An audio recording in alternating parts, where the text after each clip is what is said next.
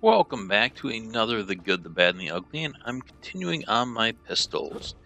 And in this video, I'm going over Dahl pistols.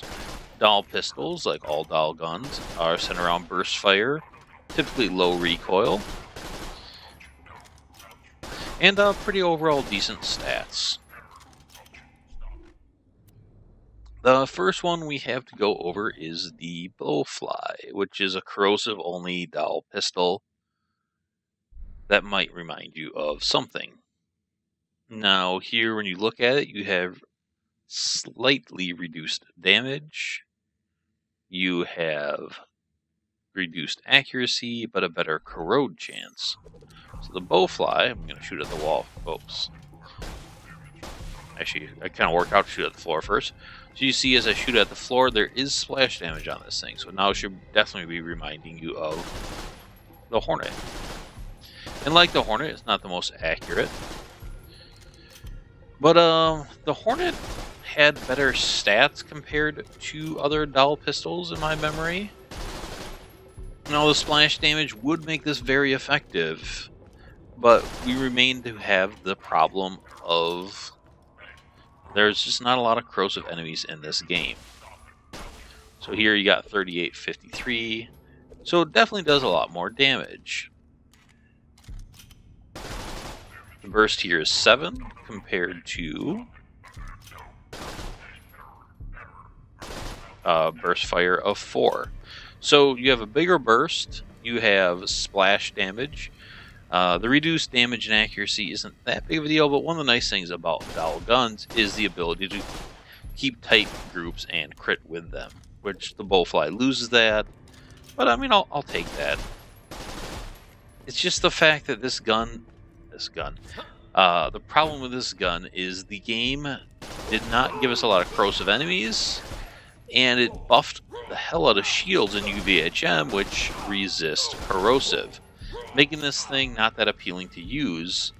And the Hornet was an incredibly popular gun in Borderlands 2. A lot of people even said it's their favorite gun because there was so much armor in the game. Now, there are a lot of armored bosses, so that helps this thing, but um, I don't know. It's just kind of no Hornet.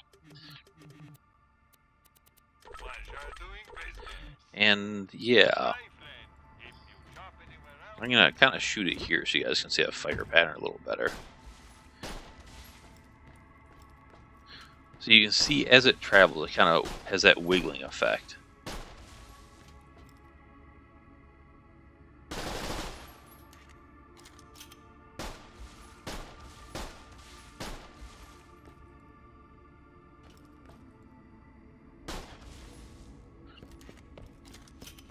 And somewhere it was reading that. Let's see, do this again.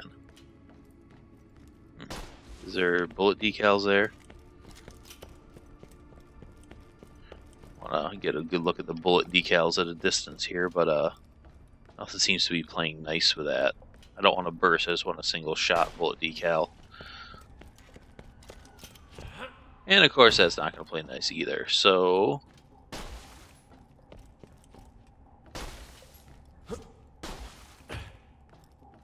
Let's go way back as far as we can, shoot at that floor. And it's only one. Uh, was, someone was kind of trying to tell me this had a, a split, but uh, I'm not seeing it with the decals. But uh, either way, this thing pops out a good amount of damage. It's just the kind of sad fact that, uh, once again, there's not enough corrosive enemies, and there's a lot of kind of corrosive only guns. Uh, I've kind of covered that with some shotguns and you know some other kinds. But at least they kind of changed it up the way the bullets fly with that bowfly, and they look cool. Now, next we have the Gwen's head is back, the Gwen's other head. And the Gwen's head was a pretty good gun in Borderlands 2. It wasn't fantastic, and you might notice something a little strange here. It says times two and I have an accessory. So the Gwen's head in this game is always times two, which is very odd.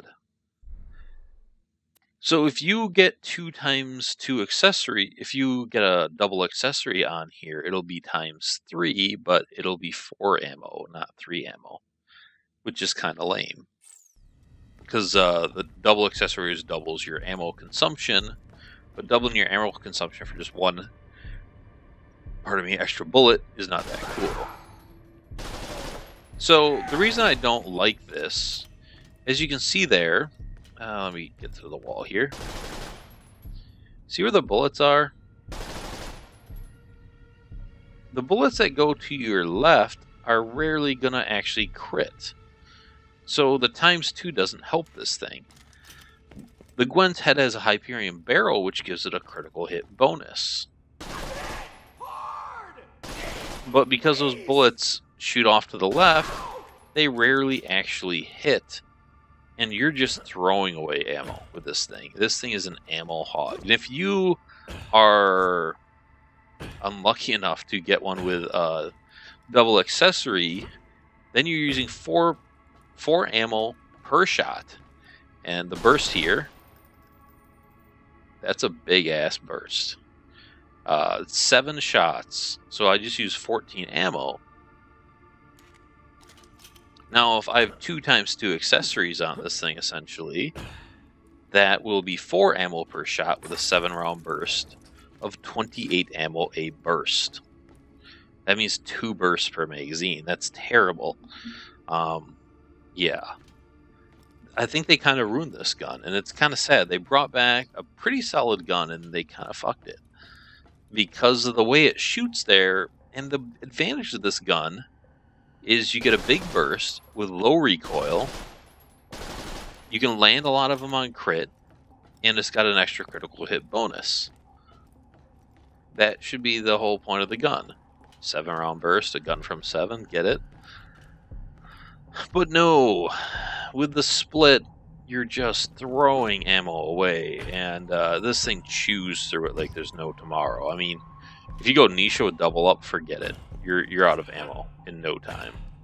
With the fire rate off burst, this thing is ridiculous. Of course, then you don't have the burst, and it's even worse because uh, you can't hold down the triggers of these. They're like Jacobs. You see here, hip firing, it's kind of inaccurate. It's all over the place. So this is a gun you kind of have to ADS with, but uh, yeah, I am not a fan of what they did to this thing and you'll you'll see it in action. I'll probably be able to kill things fair enough, and Jack overrides the ammo concerns, but you know we'll keep that in mind. Um, so the sad thing is, these are the only two Dahl red text guns. Uh, corrosive lock, kind of poor return turn of the Hornet, and then the Gwen's head here, which is just an ammo waster, and that's it. So, uh, sorry, I was kind of a little more excited, and I know you guys are sick of the salt after uh, the snipers, and was looking forward to being a little happier in guns. But there are some other cool pistols coming up. Fear not, I will be excited in coming up videos. But uh, this one was a bit of a letdown because nothing really new, and sadly, neither gun is as good as the Borderlands 2 variant. You know, at least with some of the guns that they brought back, like the Skullmasher and stuff, they did make better. In this case, they uh, made them worse. So, let me know what you guys think of these guns, and particularly these guns in this game and how they changed. And I will see you all later. Thanks for watching. Bye.